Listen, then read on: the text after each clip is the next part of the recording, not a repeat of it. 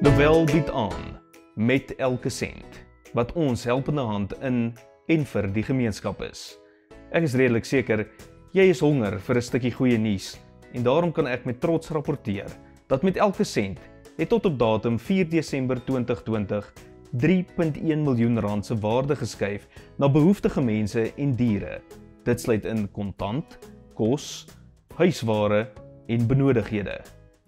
Ons kon van die armste mense van ons land help en bystaan in 'n jaar wat groot uitdagings gehad het. Met elke sent is 'n lewende getuienis van hoe dit lyk wanneer die Here in jou hart leef en jy nie anders kan as om 'n verskil te maak nie. Omdat God se mooiheid in ander mense en diere jou nie meer kan ontglip nie.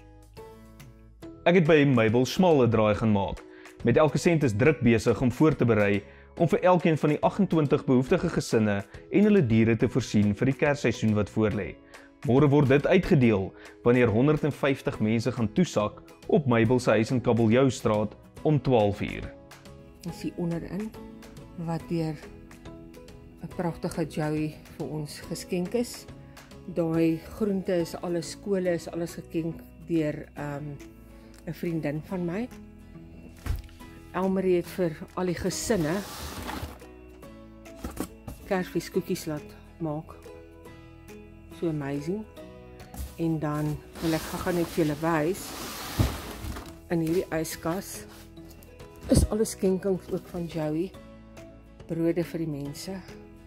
So môre gaan ons die ongelooflike Dis so my motorhuis, my vier motorhuise lyk op hierdie stadium geakkommodeer vir mense wat nie kos het nie.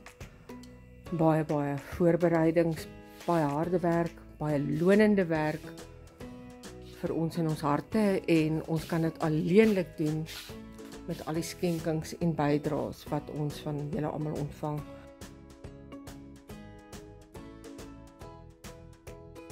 aan baie baie baie dankie aan almal vir hierdie ongelooflike skenkings tot my honde is al bietjie moeg. Julle sal Saterdag sien hoe die mense vir die eerste keer in 'n groot gros opdaag 12uur in Kabeljou straat.